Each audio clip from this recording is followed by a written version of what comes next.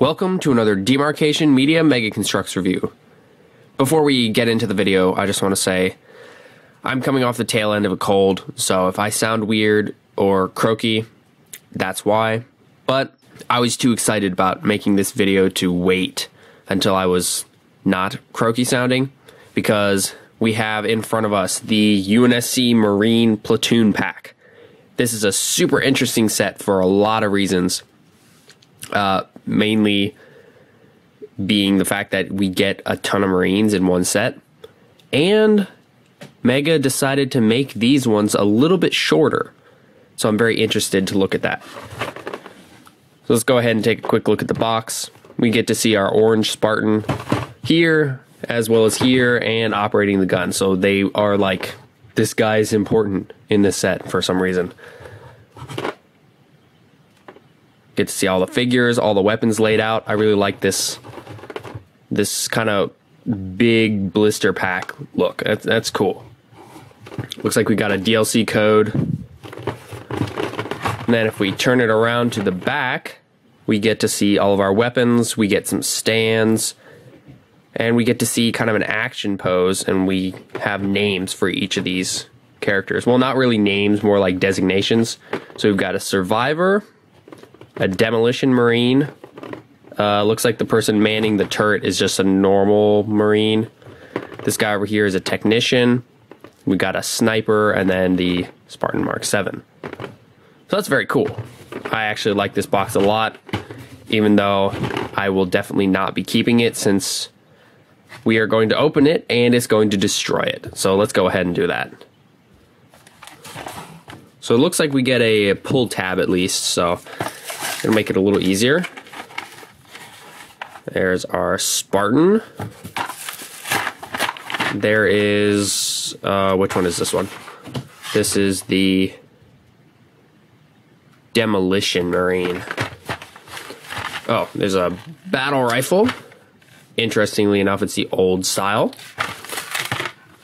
This is our UNSC Marine. They did not give her really a designation. There's a helmet. There's the Demolition Marines rocket launcher. An AR with no ammo counter. We gotta find that ammo counter. Uh, come on. Okay, well, at least the back of the package stayed intact so we can figure out who's who. Here is the sniper, and he's got dark skin. I really, really like the new dark skin Marines. Uh, I think this is our tech. Uh, yes, it's our tech. Come on. Get out. There we go. Sniper rifle out. Here's the tech's backpack. Wait, can I just... Oh my gosh. There we go. And then we have a little data pad for him, if I can get it out. This plastic is not very, oh, not very pliable. And then our survivor, who on the package has no helmet, but has a helmet here, and there's a chest plate for him as well. Oh, and it looks like he comes with the battle rifle, also old style. It's kind of interesting. We've seen both old and new style BRs in the Infinite Wave. Come on.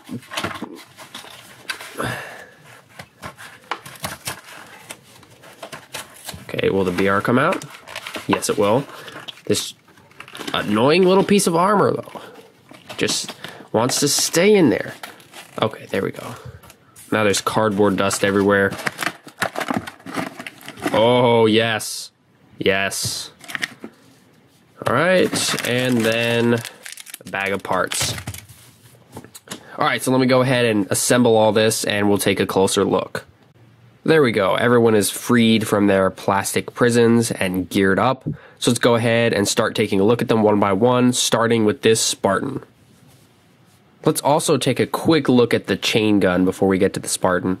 And as I said in my skull control video, the chain gun is making a return and I love it. We haven't seen this whole assembly like this for a very long time Uh, possibly since before the articulation change. I'm not sure, but I really, really like this. I like it a lot. It's got the stand, extra handles here, and then the uh, bit of armor to cover up the front of the gun, as well as the gun itself. And you can kind of rotate it on its stand. You can have a figure hold the handles. Uh, I said hold the handles. There we go. Obviously, that's a terrible pose, but you get the idea. So this is a fantastic inclusion, and I would buy a couple of these sets just to get more of these gun turrets. Now let's take a look at the Spartan. His gun is an old style battle rifle. His printing looks fantastic. This shade of orange is fantastic. There's some slight variations in the pieces depending on like which one you're looking at. The chest plate is like a little bit different shade than the head. But I think that's kind of unavoidable. It's not too bad with this figure. Now, the odd thing is, this guy is almost identical to the Spartan found in the uh, UNSC combat unit. Except, let's see. I think the printing on the chest might be slightly lighter for this guy. It's really hard to tell. But yeah, they they look pretty much identical.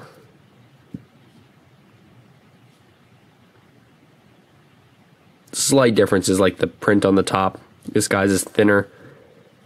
But they're they're essentially the same figure. Um, I'm not really complaining because these are fantastic looking Spartans and I love this shade of orange. So it's not bad to be able to get them in multiple sets. Uh, it's just a little confusing why Mega decided to do both because I think these are the only figures, the only Spartan figures that have appeared in multiple sets so far. Moving on to the Marines, we're going to go ahead and start with the Marine Survivor. This guy kind of has like a short sleeve shirt, almost as if he were jumped out of bed uh, when they were attacked by the Banish, and he just like tossed his armor on over top, grabbed a battle rifle, and ran. I like that a lot, actually, especially since if you remove his armor, he almost can pass as a civilian figure. So that's pretty cool. His head is done very nicely. I believe it's the same one we saw in the Warthog rally, but I don't know. This one's just done so well. It has so much character to it. So I really like that. I like the short sleeves. I like the fact that we do get some armor to go with him. You know, if we want to actually have him armored up. That's really cool. Now, the biggest thing about these Marines is that their legs have been shortened. Not the lower legs, the upper legs. So they're different now. And it gives them a slightly bow legged look, and they're a little thick on the front. So, I heard a lot of people complaining about how you can't straighten their legs all the way. Well, it's close enough. That's that's as straight as you can get. You can see where it's kind of bumping up. If that really really annoys you, just take an exacto knife and shave a little bit off, and then you'll be fine. You still get the same amount of bend backward. So, my question is, how does he look next to one of the other Marines. So this is my favorite of all of the Infinite Marines so far. I kind of geared him up a little bit more. Let's see, is the height difference noticeable? Uh, yeah, a little bit. A little. Here is our Demolition Marine. She's pretty standard for a Infinite Marine. She's got a big rocket launcher, and all of the fully kitted Marines get a backpack as well, which is pretty cool. Pretty typical shoulder armor. And then we'll go ahead and pop off the helmet. That's a nice head. The printing for the hair is done well. The printing for the eyes is done well. That's good. That's really good. I can't even pick up the helmet. It just wants to keep bouncing around. Now, was this the. Yeah, this one has a super, super loose foot. I haven't actually seen that as an issue yet. Uh, so it's a little strange, but it's just a peg, so some super glue will fix that. So it's definitely not the most notable figure in the set, but it's still a really solid figure, and I really like the head that she has. It's it's a really good one. Here is our other female Marine for the set. Uh, she doesn't really get any sort of a designation. She's just a Marine. She does get an extra leg strap though, so this shows that the new upper legs still fit the Call of Duty leg straps. It's got an extra pouch on it. She has bulkier shoulder armors than the others. There's that AR. The uh, ammo counter was in that little bag of pieces. She gets a backpack as well. And whoops. Uh oh that's that's that ain't that ain't it. Come on. Okay. There we go. This head is the same mold as what we saw with the Marine Sniper, and that head has uh, kind of is known for having some problems with the helmet sticking on too hard. It's a good head though. She looks kind of unimpressed.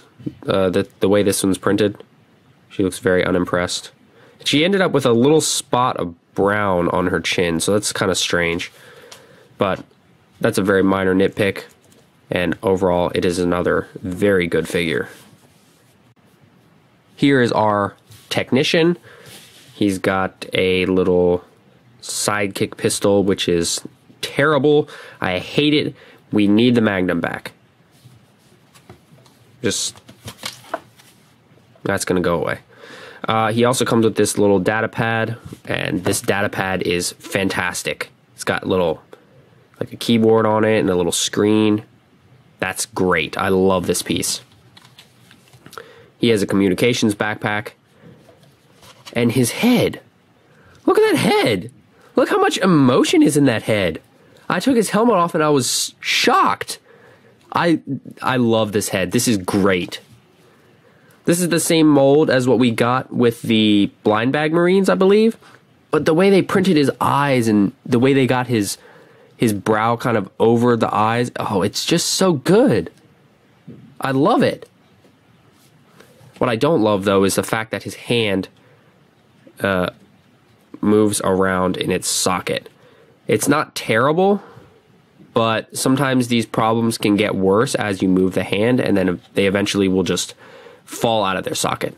So I'm gonna have to see if I can fix it myself. If not, I'm gonna have to send an email to customer service, which would be disappointing because then I would have to wait a while to get another one. Actually, the whole hand feels a little bit weird because, like, when you pop it in there, you can see it's not sitting in the hand all the way. Another thing I noticed as I was messing with this guy is there are kind of some stress marks showing up in his hand.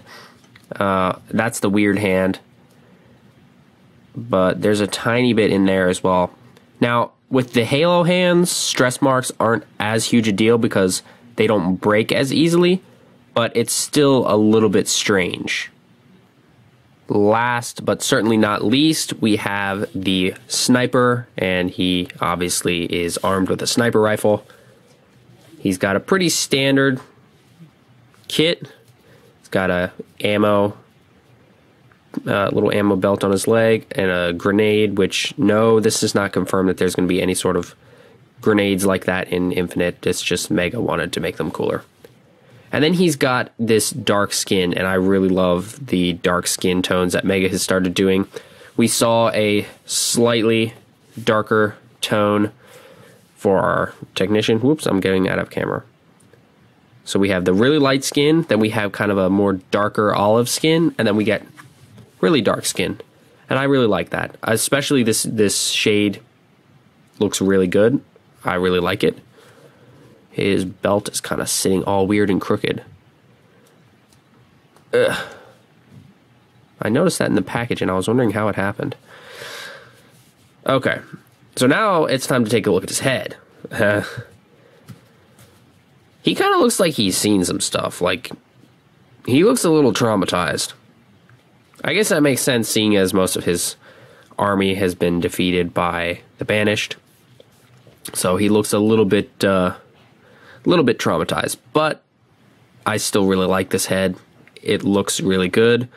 It's got a lot of character to it. And actually, I'm going to go ahead and bring in the other Marine again because I believe, well, no, they're actually even different shades. Well, that's impressive. I like that a lot. Let me pop his helmet back on. And I especially like that they gave him the colored forearms as well, so he doesn't just have his sleeves all the way down. I like this guy a lot. Well, there you have it. That is the UNSC Marine Platoon Pack. I really like what Mega did with this set, honestly. Uh, uh, when it was first revealed, I know a lot of people were kind of wondering if it was a fake. It seemed almost like a too good to be true set. And I think this set definitely has a few issues, like the fact that they shortened the legs. It really doesn't do much. It just kind of is there and it makes us have different heights for our Marines, which is kind of cool. But it didn't really change all that much. Like, I don't think it'll stop people from complaining about Marines being taller than Spartans. So that was a little strange. We've got this guy has the weird hand. Other than that, the quality control seems fairly solid. And it's just a good set.